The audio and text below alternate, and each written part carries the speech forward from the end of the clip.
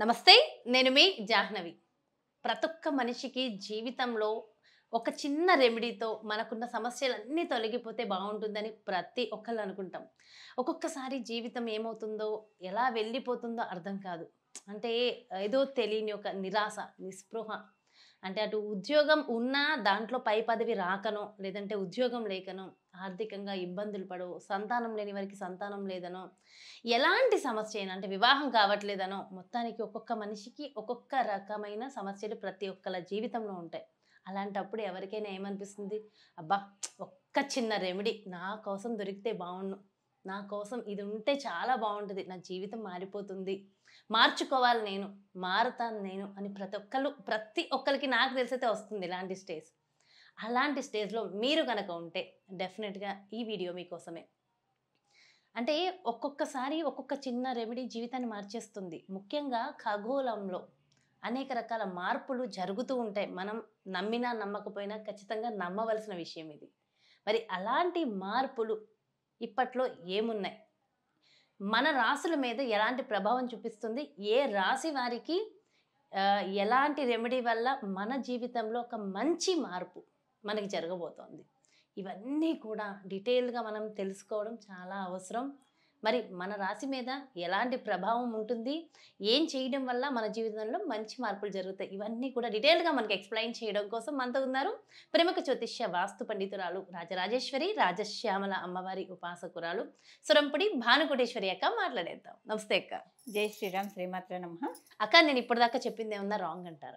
చాలా. నూటికి నూరు శాతం కరెక్ట్ కరెక్టా చాలా అనేసరికి అమ్మ నేను రాంగా అనుకుంటున్నాను. వాస్తవాలు వెల్లడించారు. అంతేనా? నిజంగా అక్క. ఎందుకంటే ప్రాక్టికల్గా నేనే ఏదైనా ఉందనుకో మీకు ఫోన్ చేసి అక్క ఏం రెమెడీ చేయాలి? ఏం చేయాలి అక్క? ఇది ఒక్క రెమెడీ ఇట్లా ఇట్లా ఉంటుందా?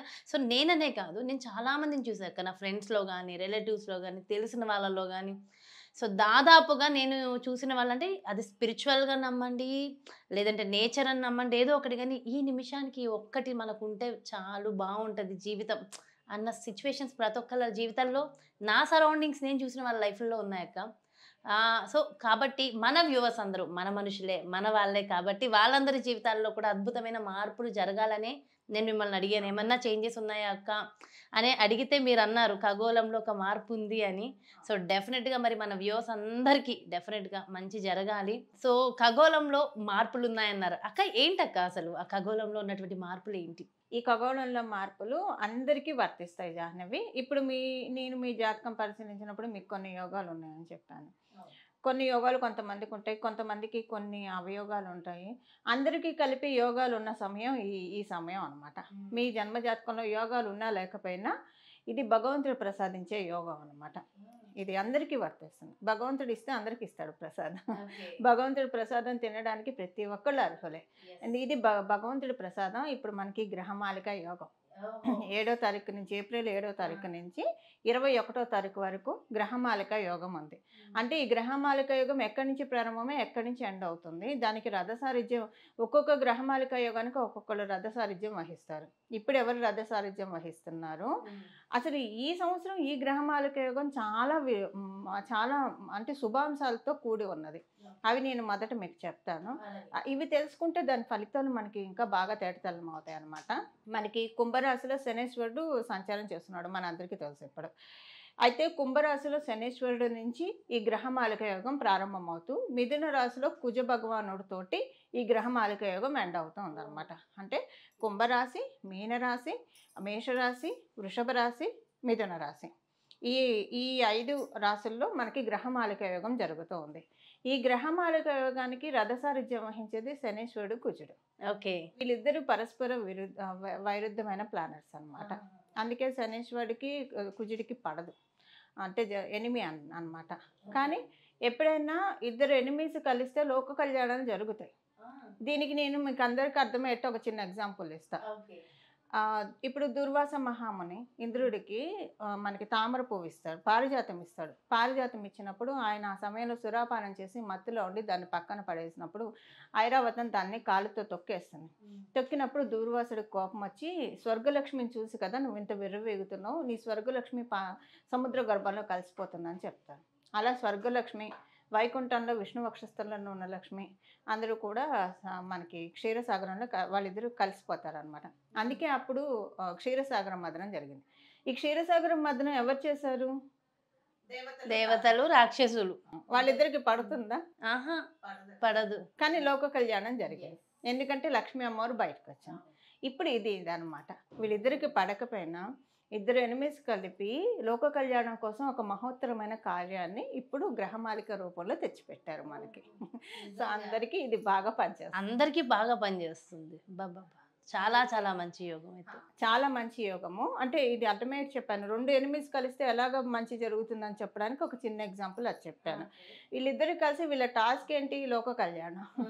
అప్పుడు లోక కళ్యాణం ఏంటి? కల్పవృక్షము కామధేనువు విషము వచ్చింది పరమశివుడు తీసుకున్నాడు అదే తీసాను ఇక్కడ విషం లేదు ఇంకా. లేదు. అదే అడగబోతున్నాను నేను. అమృతము వచ్చింది విషము వచ్చింది అక్కడ. పరమశివుడు తీసుకున్నాడు కదా. సో ఇప్పుడు ఈ విషయం మనకి కోవిడ్ రూపంలో వెళ్ళిపోయింది ఆల్రెడీ సో కోవిడ్ అనుకోండి ఈ ట్రాన్స్ ఏవో వైరస్లు వచ్చాయి కదా వాటి రూపంలో వెళ్ళిపోయింది. ఇప్పుడు కూడా ఏవో కొత్త కొత్త వేరియంట్స్ వస్తున్నాయి. అవన్నీ పారదోలటానికి ఇదన్న ఓహో.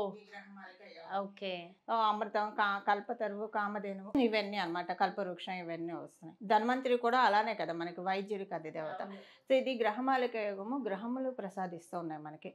ఈ సంవత్సరం ఇంకా అత్యద్భుతమైన విషయం ఏంటంటే జాహ్నవి మనకి శనేశ్వరుడు ఈ కుంభరాశిలో ఉన్న- కుంభరాశిలో ఉన్నాడు. గురు భగవాన్ మీనరాశిలో ఉన్నాడు. శుక్ర భగవానుడు వృషభ రాశిలో ఉన్నాడు. అంటే ఈ ముగ్గురికి ఇవి స్వక్షేత్రాలు. శనేశ్వరుడికి కుంభరాశి స్వక్షేత్రం గురు భగవానికి మీనరాశి స్వక్షేత్రం శుక్రాచార్యుల వారికి వృషభ రాశి స్వక్షేత్రం. మళ్ళీ ఇలాంటి కలయిక మనం చూడాలంటే ముప్పై సంవత్సరాలు ఆగాలి. అబ్బా! ఇంత ముప్పై సంవత్సరాల వరకు రాదు. గ్రహమాలిక యోగాలు మధ్య మధ్యలో వస్తూ ఉంటాయి. కానీ పట్టు బాగా పట్టు ఉన్న సమయం ఉంటుంది. అవునవును. పట్టు ఉన్న సమయం అది ఇది. ఈ సంవత్సరం ఈ శోభకృతనామ సంవత్సరం. ఎందుకు చెప్తున్నానంటే మీనరాశి నుంచి గురు భగవానుడు ఇరవై రెండవ తారీఖు నుంచి మేషరాశిలోకి వెళ్ళిపోతాడు. మీన మళ్ళీ గ్రహమాలిక యోగం వచ్చిన గురు భగవానుడు మీనరాశిలోకి రావడానికి పన్నెండేళ్ళు పడుతుంది. ఆ పన్నెండేళ్ళ తర్వాత వచ్చినప్పుడు శనేశ్వరుడు కుంభరాశిలో ఉంటాడు వేరే రాశుల్లో ఉంటాడు. మళ్ళీ ఆయన ఇక్కడికి రావడానికి ముప్పై సంవత్సరాలు పడుతుంది. ఇలాంటి అత్యుత్తమ కలయిక మనకి ఇప్పుడప్పట్లో ఉండదు. శుక్రుడు అంటే ప్రతి సంవత్సరం మే వృషభ రాశికి వస్తూ ఉంటాడు. కానీ వీళ్ళిద్దరూ అదే రాశుల్లో ఉండాలి కదా. మన అందులో మీనరాశి అంటే చాలా మంచిది జాహ్నవి. ఆ ద్వాదశ రాశి చాలా మంచిది. జలతత్వ రాశి. ఈ జలతత్వం ఎవరికైతే బాగా ఉంటుందో మంచి ఆలోచనలు పుడతాయి వాళ్ళకి. ఒక చక్కన కూర్చుని వాళ్ళు పడుకున్నట్టు పడుకున్నట్టే లేచి టక్కన వాళ్ళు నిద్రలు వేస్తుంటే ఏదో ఆలోచన వాళ్ళకి మైండ్లో బ్లింక్ అయిపోతూ ఉంటుంది. లేదా కూర్చున్న వాళ్ళు కూర్చున్నట్టే ఉంటారు. అసలు వాళ్ళకి సంబంధం ఉండదు. ఆలోచన ఎందుకు వచ్చిందో కూడా అర్థం కాదు. ఏదో వర్క్లో ఉంటారు. టక్కన ఒక మంచి ఉపయోగపడే ఆలోచన వచ్చేస్తుంది. సో ఇలా మీరు కూడా నాకు రెండు మూడు సార్లు ఫోన్ చేశారు. ఏదో పనిలో ఉన్నప్పుడు ఇలా ఆలోచన వచ్చింది అక్క అది జలతత్వం బలంగా ఉన్నప్పుడు జరుగుతుంది. మరి నాది మకర రాశి కదా? అంటే ఈ జలతత్వం బలంగా ఉంటుంది. మకర మకర రాశి అయినా మీ దాంట్లో జలతత్వం బలంగా ఉంది ఎందుకంటే గురు భగవాన్ మీకు నాకైతే నిజంగా చెప్తున్నాక ఆలోచనలు సడన్ సడన్ గానే వస్తూ ఉంటాయి. ఎప్పుడు వస్తాయి తెలీదు బట్ అది చాలా బాగా వర్క్ అవుతుంది. ఎందుకు చెప్పాను చెప్పనా మీకు ఈ విషయాన్ని? మీ చాట్ నాకు తెలుసు కాబట్టి ఈ చిన్న పాయింట్ చెప్తాను. మీ గురు భగవాన్ మీన రాశిలోనే ఉన్నారు. మీరు పుట్టినప్పుడు. అందుకని జలతత్వం బలంగా ఉంది మీకు. అందుకని సడన్ థాట్స్ అన్నమాట. సో అర్థమయ్యేట్టు చెప్పాలని చెప్తున్నాను అనమాట అలా వస్తుంది జాహ్నవి. ఇది అందరూ వినియోగించాల్సింది. అంటే జరగడము ఏడో తారీఖు నుంచి ఏప్రిల్ ఏడు నుంచి ఇరవై ఒకటి వరకే ఉంది కదా అని తీసి పడేయద్దు. దీని ఇంపాక్ట్ సంవత్సరం వరకు ఉంటుంది. మీ జన్మ జాతకంలో కనుక గ్రహమాలిక యోగం ఉంటే ఇంకా పండగే పండగ. ఇలానే ఉండాలని లేదు. వేరే రకంగా గ్రహమాలిక యోగం ఉన్న పండగే పండగ. అసలు ఏం లేకపోయినా మీరు యోగాలు అందుకోవడానికి. ఇప్పుడు కొంతమందికి యోగాలు ఉన్నాయో లేవో తెలియదు ఈ యోగాన్ని అందుకోవడానికి అందరూ అర్హులే జాహ్నవి. అక్క మరి సింహ రాశి వారు ఎలాంటి పరిహారం చేయడం వల్ల ఈ అద్భుతమైన యోగం వాళ్ళు పొందవచ్చు అంటారు పూర్తిగా. తప్పకుండా జాహ్నవి. సింహరాశి సింహ లగ్నంలో పుట్టిన వారిద్దరికీ కూడా ఇది వర్తిస్తుంది. అయితే వీళ్ళకి ఎలాంటి యోగం పడుతుంది అన్నది కూడా మనం ముందు తెలుసుకుందాము.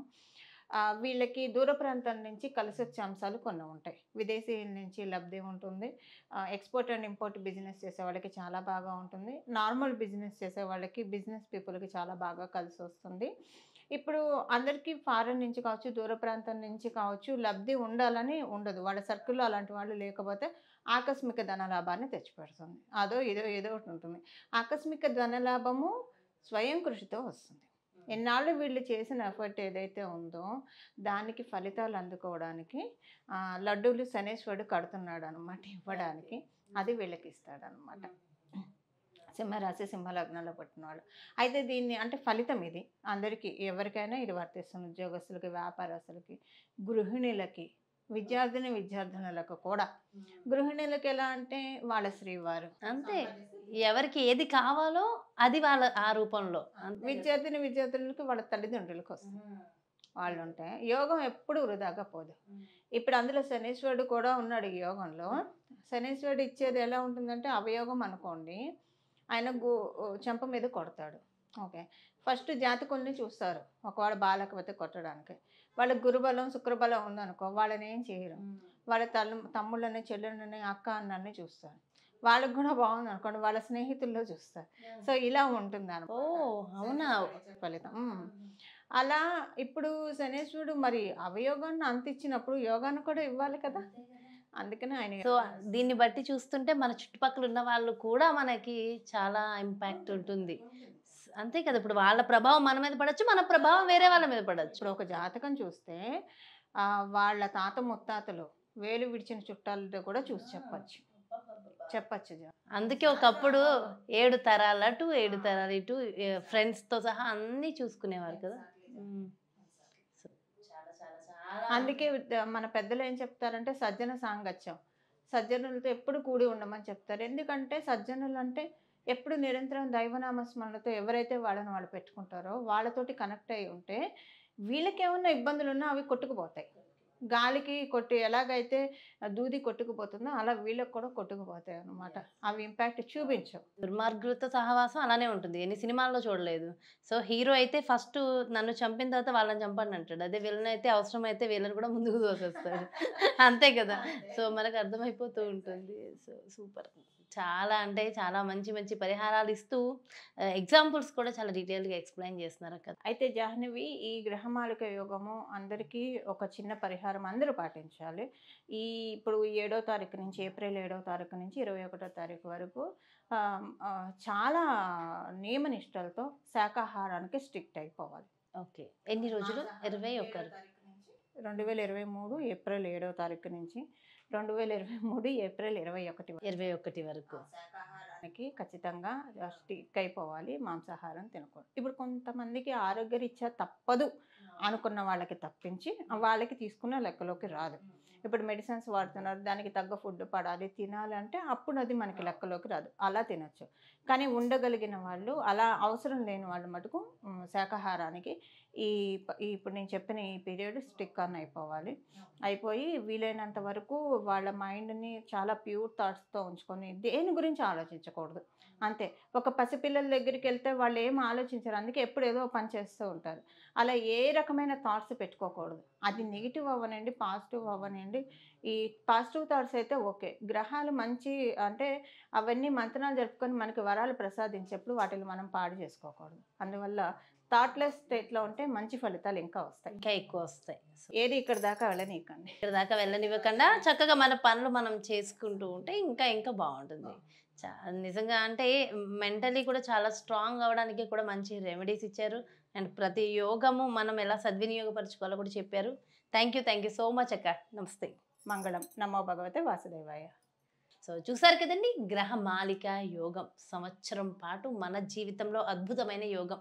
నిత్యం కూడా ఆనందంగా మనకి కావాల్సిన ప్రతి ఒక్క పని చక్కగా అవుతూ మనం ఎప్పుడూ హ్యాపీగా ఉండేలాంటి లైఫ్ ఒక వన్ ఇయర్ పాటు ఉండాలంటే మనం ఏం చేయాలి? ఎలాంటి రెమెడీ చేయాలి? ఓకే? ఇదంతా కూడా ఎంతో చక్కగా క్లియర్గా డీటెయిల్గా ఎక్స్ప్లెయిన్ చేశారు కదా! మరో చక్కటి కార్యక్రమంతో మళ్ళీ మీ ముందుకు వచ్చేస్తారు. మరి అదేవిధంగా పర్సనల్గా మీ యొక్క జాతకానికి సంబంధించి కానీ లేదంటే మీ ఇంటి వ్యాపార వాస్తుకి సంబంధించి కానీ భానుకోటేశ్వరి ఎక్కడిని సంప్రదించాలి. అపాయింట్మెంట్ కావాలి అనుకుంటే క్రింద డిస్ప్లే అవుతున్నటువంటి నెంబర్స్కి కాంటాక్ట్ అవ్వండి. నమస్తే.